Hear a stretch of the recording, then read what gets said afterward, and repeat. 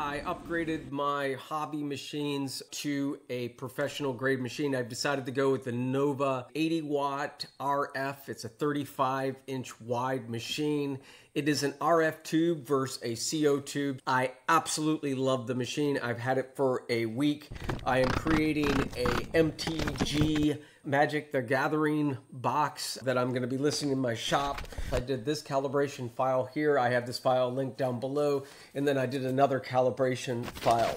So the unboxing and the uncrating went extremely smooth. They were communicative with me about getting the machine. Why I chose Thunder was I'm not going to invest this amount of money in a machine and have something break and not being able to talk with anyone as soon as I had an issue, and it was with Lightburn. There was no technical issues with the machine whatsoever.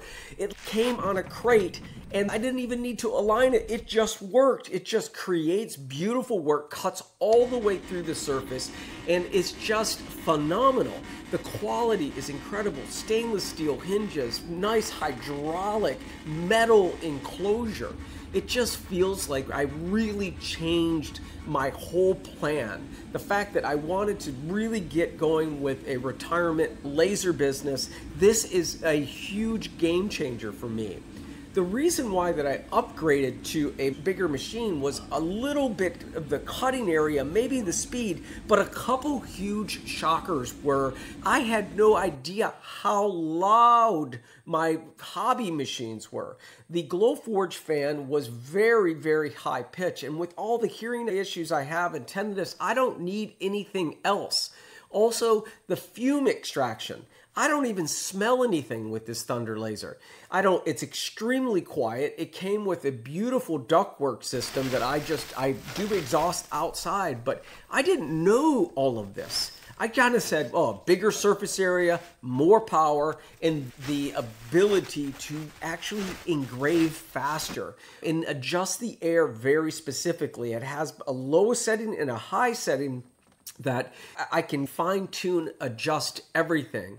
When I opened that door, the hinge of the the lid, it just felt amazing. I love great products like Prusa and Apple, and this really just joins it. And the fact is, I can call anyone in Texas and I can talk to someone or I can email support and get a response back. I can and I can upgrade to the rotary. I just really believe that this is a big surprise. I feel unbelievably blessed, but I think I'm not sure if I would be able to kind of run this laser business, engraving business that I want to run without upgrading it. And you know, I'm keeping my Glowforges. I think they're great for acrylic jewelry and there's a lot of things, but I am just blown away with how quiet it is. So with this particular acrylic, I was able to get this beautiful engraving and test file that I made and everything works out. The way that I focus it is I, inside of Lightburn, under the move tool, there's just an autofocus. And if you, the material's underneath of it, it will just go down and press it very similar to my Prusa printing head. It will go into the material and it will test it and it just really does it with precision. And in terms of sending the file, the interface on the machine, once I hit send inside of Lightburn, I can, can control where it goes, choose where, what quadrant I want my home to be in or where my starting coordinates are going to be, set the origin, I load the file, and I'm ready to go. So as far as the speed of the USB, everything else like that is really, really nice. I it, I drive it from this computer and it's over on this side of the hackLAB. But so far, it's been an absolute joy to work with.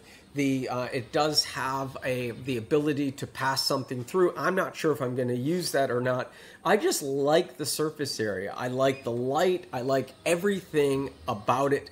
And I'm really, really excited that to have this RF tube, which is the plus part of it.